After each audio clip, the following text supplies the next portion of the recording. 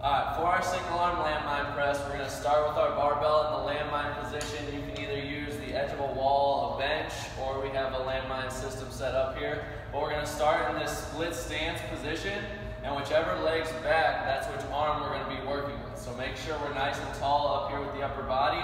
We want to make sure in this starting position that the edge of this barbell is kind of right at the front of your shoulder. With that being said, we also want our elbow right underneath the bar so that as we press up, we can extend straight through all the way up and back down to the starting position. Then we're just gonna rep up, make sure we get a full extension, get that shoulder blade coming around the rib cage up top, and then control it back down.